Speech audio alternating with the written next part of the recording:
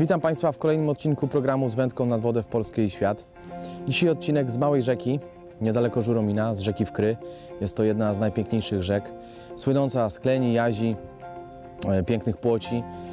Jeżeli chodzi o tą rzekę, e, latem jest ona zarośnięta, jest e, ciężko tutaj łowić w ogóle na spławik, ciężko łowić na tyczkę czy na bolonkę, natomiast teraz mamy wczesną wiosnę, dlatego spróbuję łowić na bolonkę.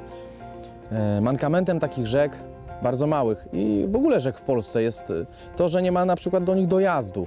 I miejsce, gdzie będę próbował coś złowić jest bardzo trudno dostępne.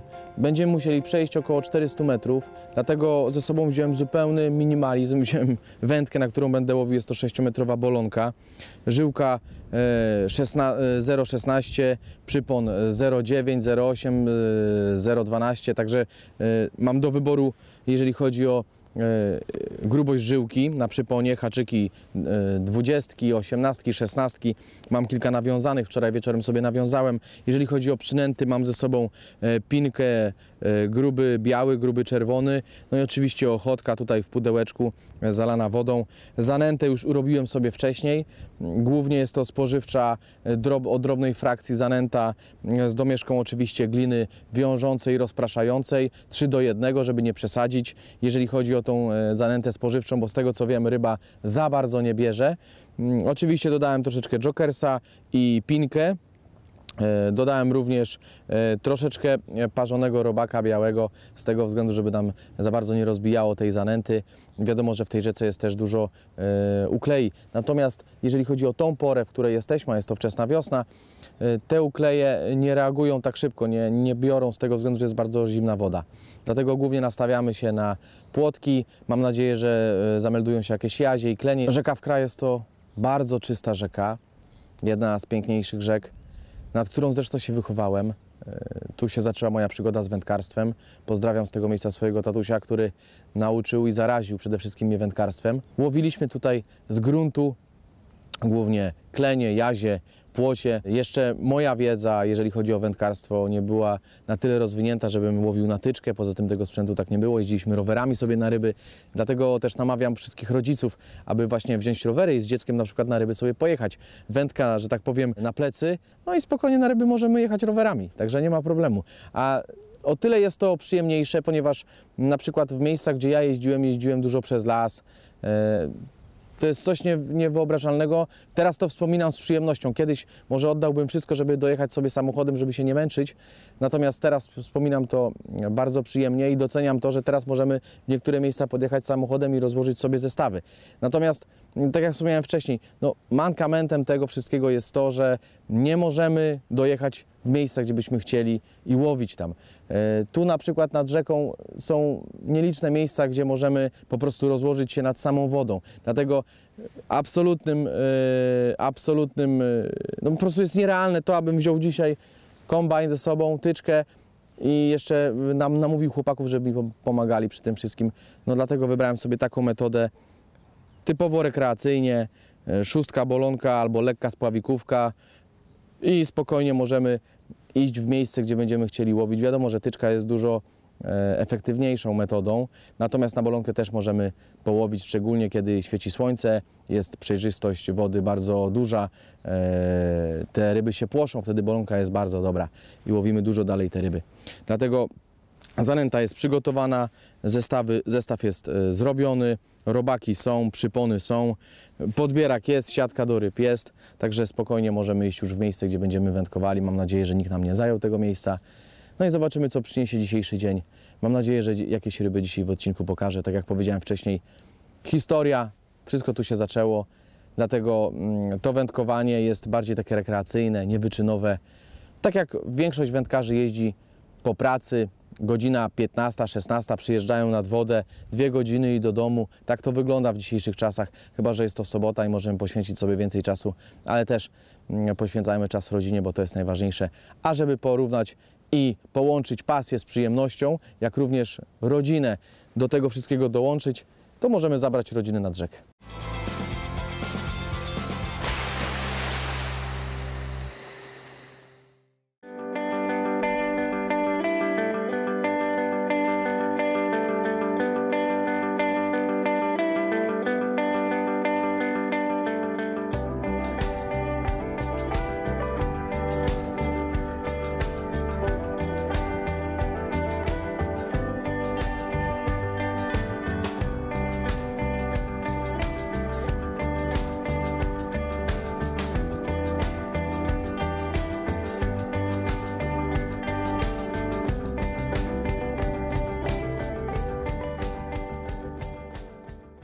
Doszliśmy do miejsca, gdzie będziemy wędkowali.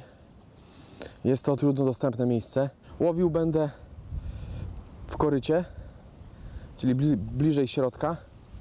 Wydaje mi się, że tam te ryby będą się trzymały. Bardzo silny wiatr, dlatego wybrałem sobie takie zaciszne miejsce. Jest tu taka góra, która nam zasłania ten wiatr. Z drugiej strony trzciny, także komfort łowienia będzie znacznie lepszy niż w poprzednim miejscu. Miejsce wygruntowane, 1,5 metra głębokości. Także na, te, na ten moment, na ten czas wiosenny, wczesnowiosenny, jest to odpowiedni, odpo, odpowiednia głębokość. Te ryby e, są tu.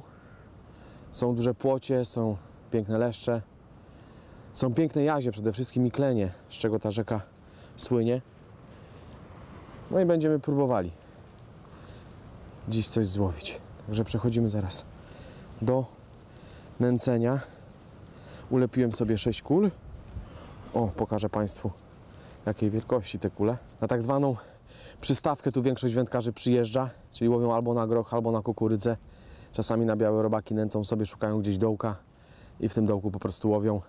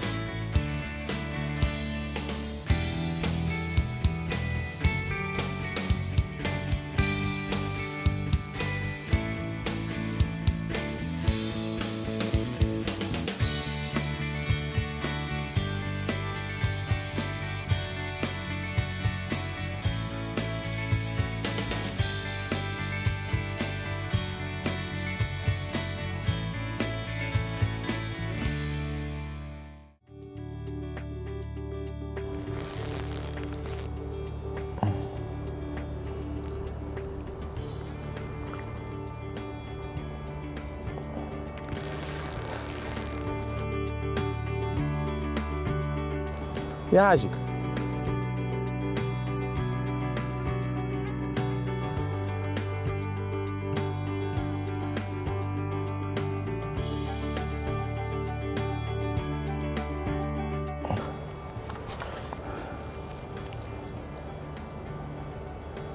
Jazik z rzeki Wkry. Pierwszy zaliczony.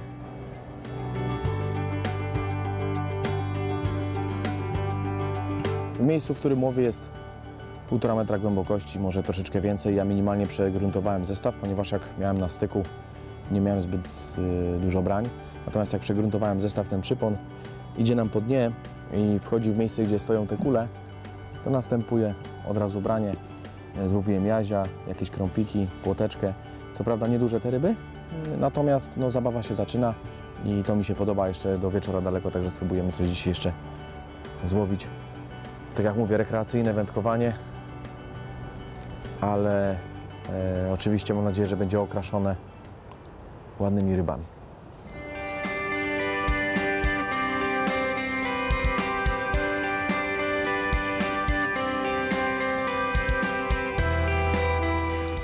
Jest kolejna rybka. Będzie jazik.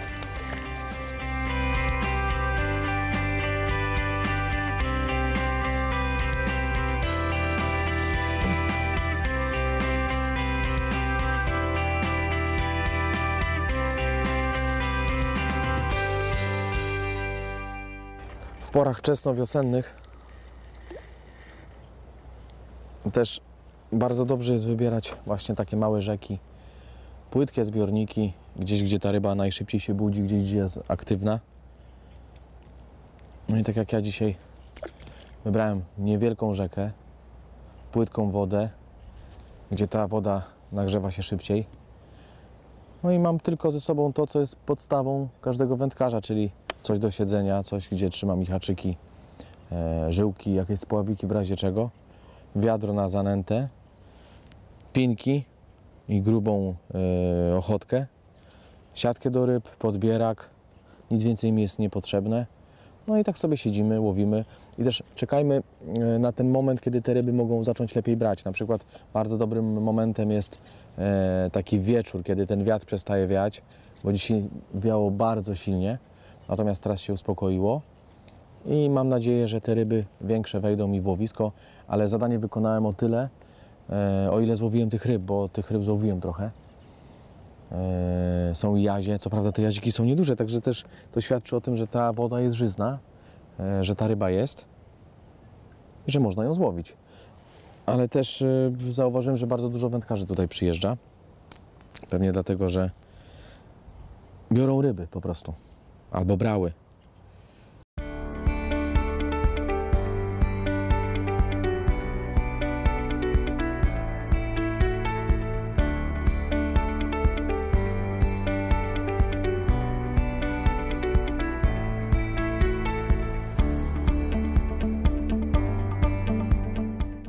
O, jest krąpik. O, takie krąpiki. Większy haczyk teraz założyłem, próbować złowić większe ryby. Pani sobie kolego.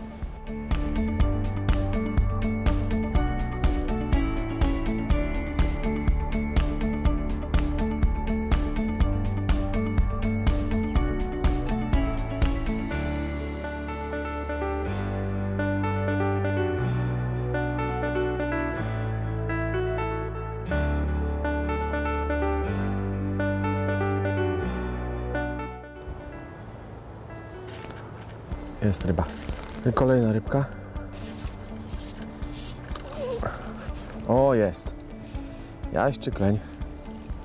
Jest, mamy. Mamy uprawnione nasze ryby. Co prawda chciałabym, żeby były większe, ale klenik. Zobaczcie, jaką ma dużą mordę. Piękna rybka. To jest właśnie królowa tej rzeki. Ciekawe, ile ma centymetrów. Czekaj, zmierzę go. 30 centymetrów. Ten klenik ma 30 cm.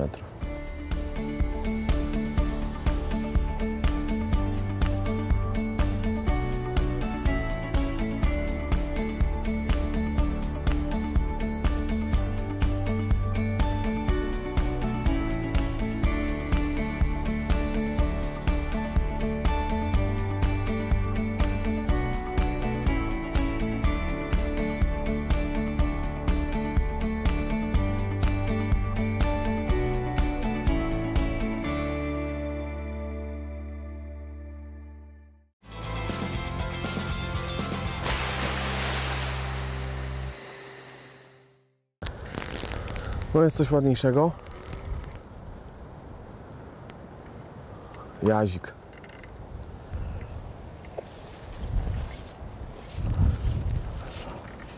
Albo płoteczka. Ładna. Płoteczka chyba. Chodź tu.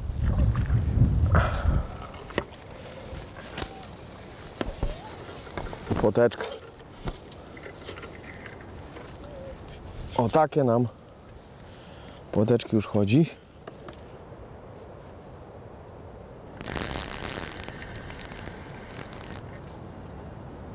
Jest kolejna ładna ryba. O i mamy już ją. Ładna płoć. Piękna. Większy haczyk, większa przynęta. Cały czas ten drobiazg nam brał, a teraz takie większe płocie. O. Bardzo ładna płoć.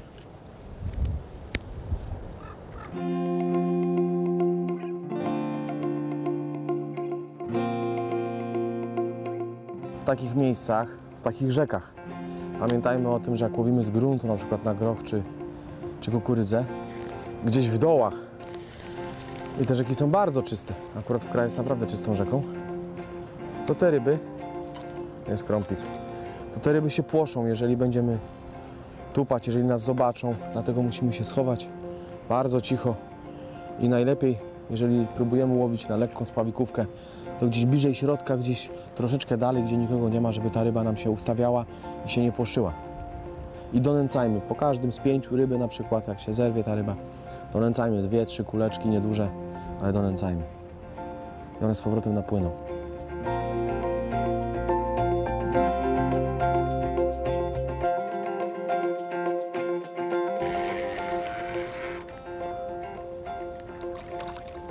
Płoteczka ładna.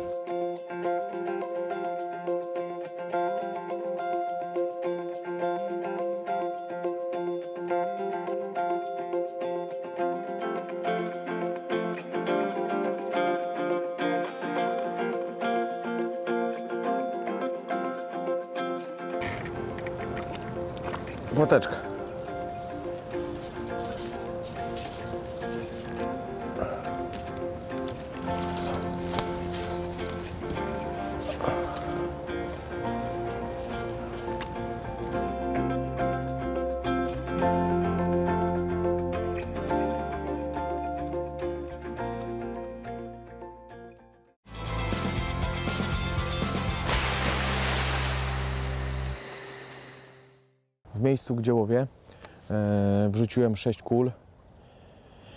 Minimalnie po skosie, e, w miarę bliżej środka, z tego względu, że e, klenie, jazie są rybami, które się szybko płoszą. A chciałbym te ryby dzisiaj w odcinku pokazać, no przynajmniej chociaż jazie. I dlatego zanęciłem sobie bliżej środka rzeki, a poza tym tam jest troszeczkę głębiej. Gruntowałem sobie w ten sposób, że zakładałem śrucinę na haczyk. Dobrze wy, y, oczywiście wy, obciążony. No i wtedy ten y, spławik mi całkowicie tonął, jeżeli był y, za mały grunt. Natomiast jeżeli był grunt na styku, ten spławik po prostu stał. Także taki sposób jest bardzo dobry i spokojnie możemy w ten sposób sobie wygruntować. Żyłkę na przyponie mam 008 żyłkę główną 18 jest za gruba moim zdaniem, ale to dlatego, że ten sprzęt leży mi trochę czasu już, a spławik zaniedbałem przez poprzednie dwa lata. Dlatego teraz wracam do korzeni i będzie więcej odcinków właśnie z tej metody spławikowej. W ogóle to chcieliśmy e, jechać właśnie w tym okresie na San. Niestety na Sanie jest bardzo duża woda, zimna, no i ciężko. Ciężko złowić jakieś ryby. Poza tym jest Tak jak wspomniałem wcześniej, bardzo duży stan wody, a to przeszkadza w łowieniu. Tym bardziej, że miejsca, w których byśmy chcieli łowić, są niedostępne dla nas. Kazik. I kolejna rybka. Nie, płoteczka ładna. I kolejna płoteczka. Wiosenna. Płotka z wkry.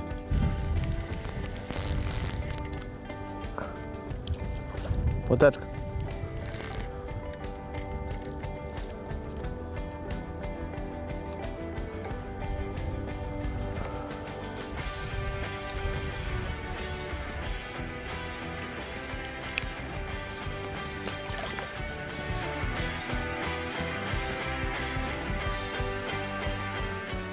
Trzy ochotki na haczyk, jedna czerwona pinka. No i próbujemy. Teraz się trochę uspokoiło. Nie ma takiego wiatru. Słychać śpiew ptaków. O, tam wędkarz ma rybę, na groch. Z tego co widziałem. Fajnie.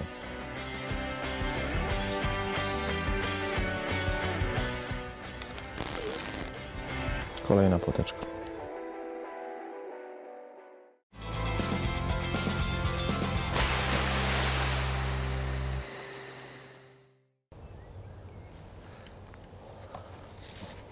Płoteczka. Ale ładna już ta. Kolejna płoteczka. Co prawda mniejsza od tej bardzo dużej naszej, ale o takie płoteczki.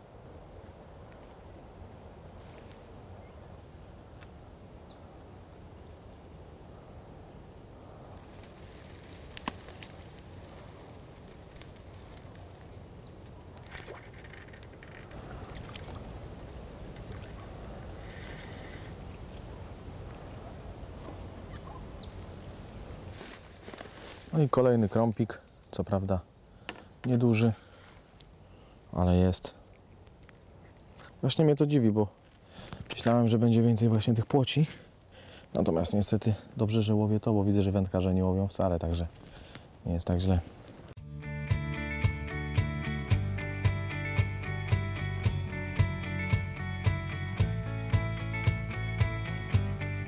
Piękna płoteczka na zakończenie dnia. Kończymy nasz dzisiejszy odcinek programu z wędką nad wodę w Polski Świat. Zapraszamy na kolejny przyszły czwartek 16.10. Nie przegapcie. Piszcie, co byście chcieli zobaczyć w następnych odcinkach programu. I podsumowując dzisiejszy dzień, no połowiłem trochę ryb. Jestem zadowolony. Jeżeli chodzi o metodę, mógłbym tu łowić w tym miejscu na lekką spławikówkę, ale miałem ze sobą tylko bolonkę. Dlatego łowiłem niezbyt daleko, bliżej środka. Natomiast e, ryby wnęciły mi się pięknie, stały w kulach i łowiłem je, odławiałem je co jakiś czas. Także chyba o to chodziło, żeby coś Państwu dzisiaj pokazać, a mój rekonesansik wiosenny zaliczony.